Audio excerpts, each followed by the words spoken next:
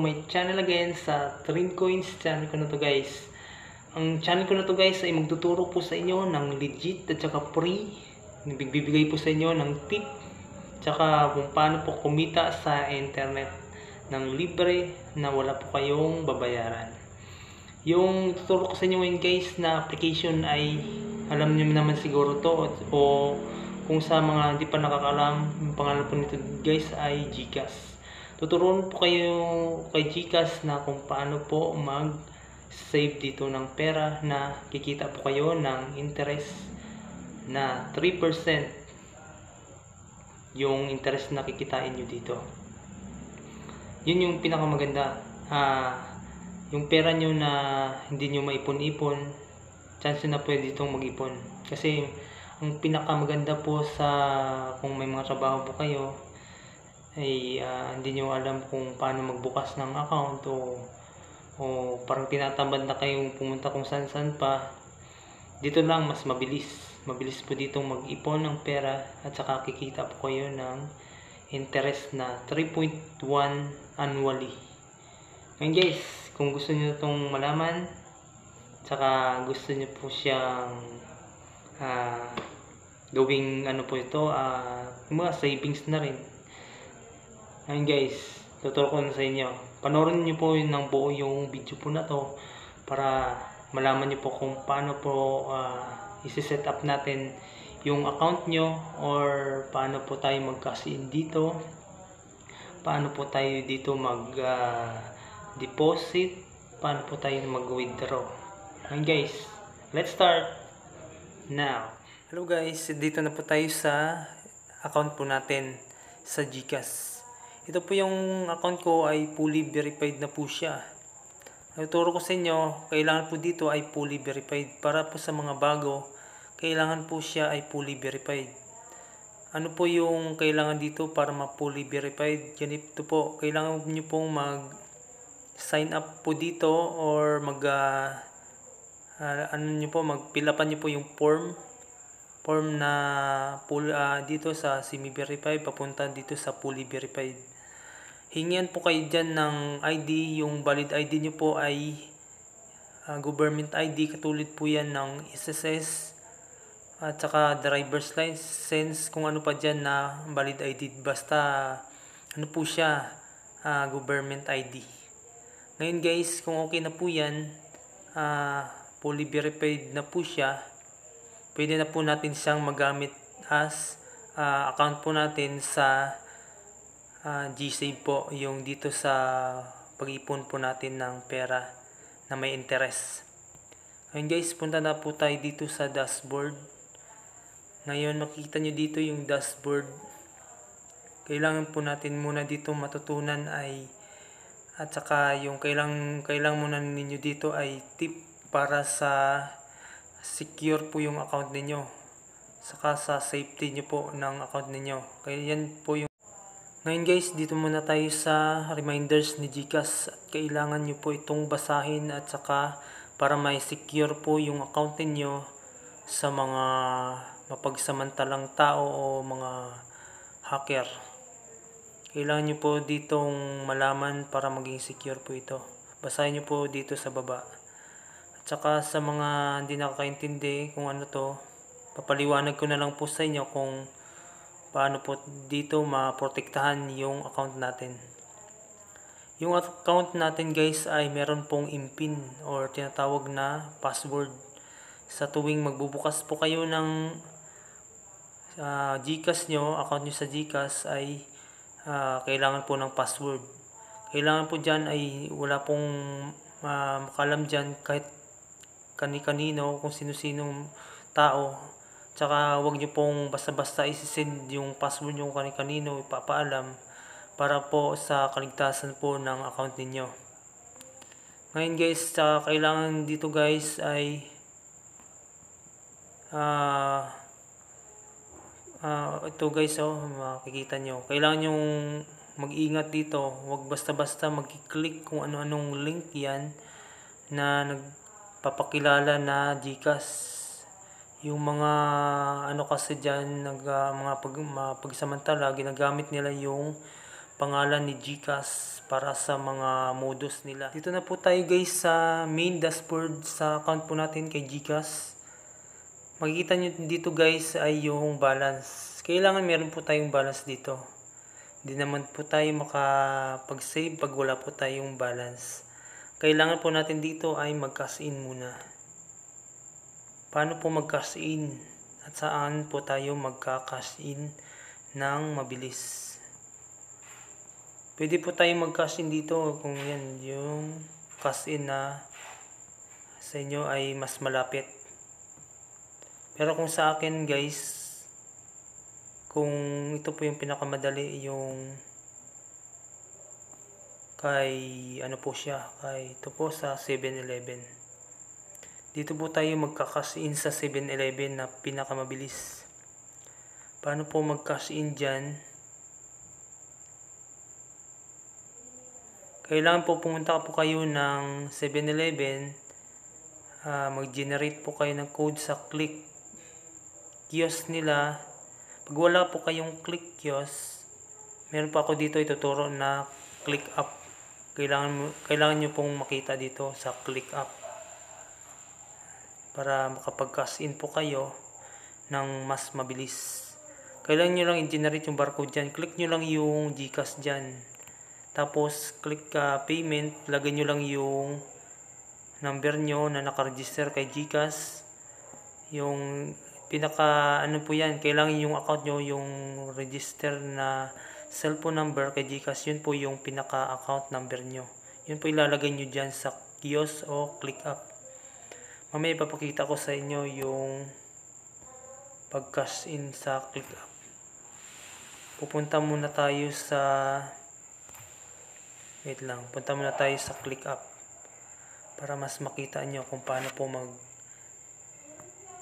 ano po sa click up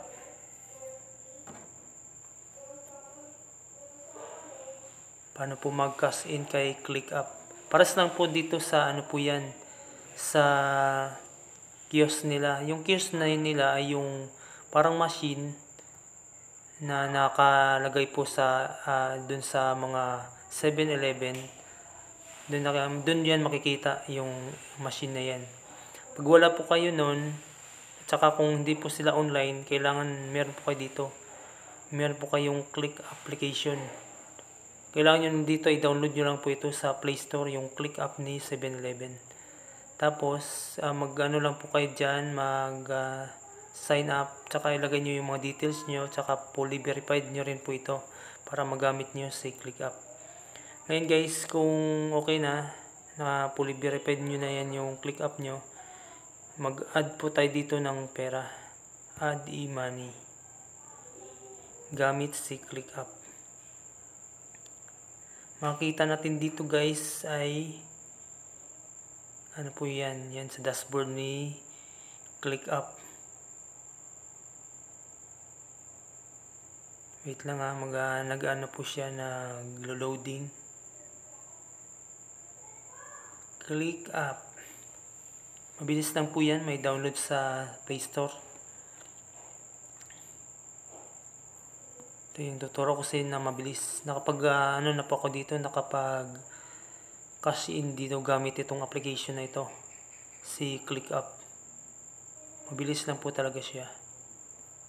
Ngayon guys, ito na po siya. Itong tatlo na to. Yan yung mga digital wallet po yan. Si Gcash, Paymaya, Lazada. Pero ngayon, kay Gcash po tayo. Tapos, click nyo lang yan, Gcash. Click lang cash in. Tapos, lagay nyo dyan yung number nyo. Lagay nyo yung number nyo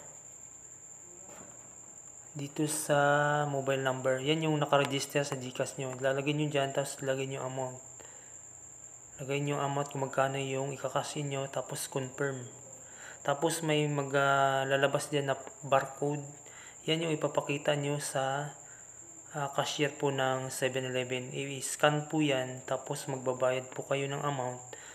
Kung magkano yung amount, halimbawa 500, magbayad kayo ng 500, wala po siyang charge, 500 lang po talaga. Ganun lang kabilis guys, mag uh, cash in kay Gcash. Tapos may confirmation lang yan sa number nyo na nag-cash in na po kayo sa GCash account nyo. Ngayon, punta na po tayo. Kung okay na yan, nakakash in na kayo. Punta na po tayo dun sa GCash account po natin.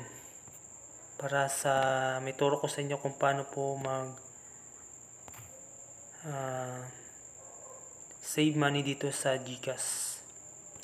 Ngayon guys, dito na po tayo. Click lang natin yung save money.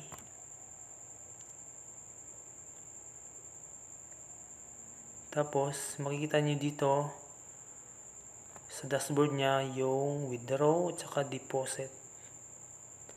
Ang gagawin natin, magdi-deposit po tayo. Ngayon guys, makikita nyo dito sa dashboard niya, ito po yung ah, amount ng balance ko dito is 0.20. Maki makikita nyo dito guys sa baba, dito sa transaction history kung talagang nag ah, dadagdag yung ano nyo, yung interest. Dito guys makikita nyo. Yan. Interest earn is 0.06. Depende po yan sa mai-save nyo dito. Yan, depende po yan sa may save nyo dito kung ilan yung interest niya. Tapos, meron po tayong tax dito, 0.01. Yung interest niya na earn niya is 0.06 tapos yung tax niya is 0.01. Pero okay lang yun, mababa lang naman yung tax.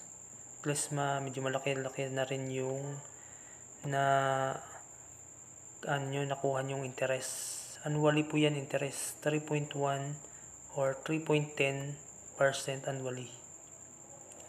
Ngayon guys, gagawin natin dito guys ay mag-deposit po tayo. Click lang natin deposit. Ayun nga pala, para sa po sa mga wala pa, hindi pa, hindi pa kayo nakaregister. Ang pag-register po dito ay parehas lang po sa pag-sign up nyo sa GCash. Ilalagay nyo lang po dito yung uh, details nyo sa GCash, yung account number nyo sa GCash. Uh, partnership kasi sila nito ni Simbank. Partnership sila Simbank. Yan, pag uh, okay na yan, uh, mabilis lang naman yan. Ko-confirm lang yan yung account nyo.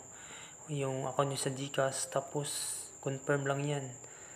Tapos yan, meron na po kayong account, account number na makikita nyo dito. Tsaka yan, magbubukas na yung account nyo. Yan yung pinaka-account nyo sa, dito sa GSave.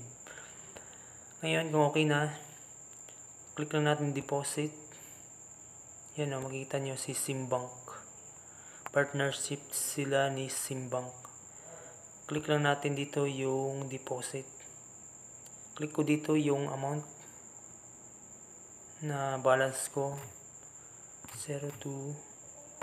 02.95 yan yung ilalagay natin na deposit dito sa G-Saves na G-Save natin. Ngayon pag okay na po yan click natin yung next. Tapos ko-confirm yan. Magko-confirm yan si Simbank click lang natin confirm. Yan, G-Save, deposit success, okay. Yun, nawala na.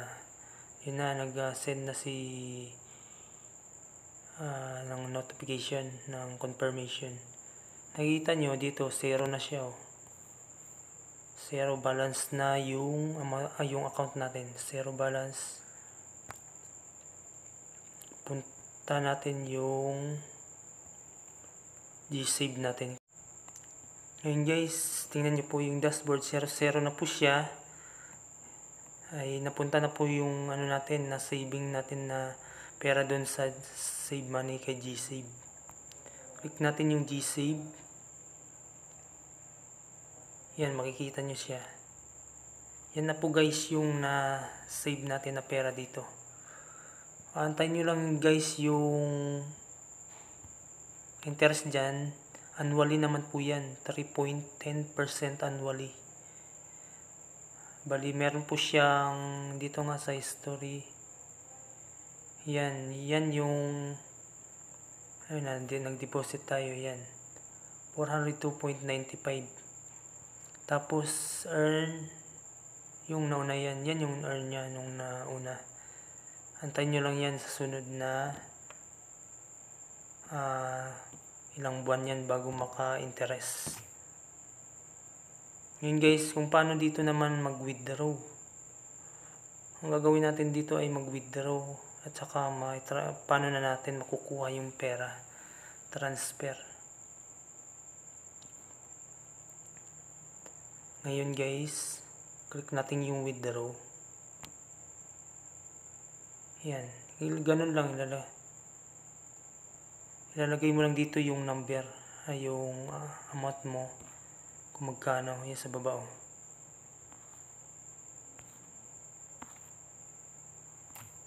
Lagay natin, pakita natin.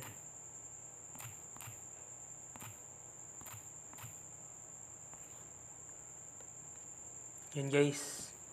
Yung makikita nyo, yung ilalagay natin na amount. Tapos pag okay na yan, click lang natin yung next. Yan. Kukonfirm lang natin yan. Confirm. Yun, may mag, mag nagsisend sa inyo ng number si Simbank. Lalagay lang natin yan. Dito sa ano. Tapos submit. Yan, GC withdraw success. Okay. Yun, nag-send na siya.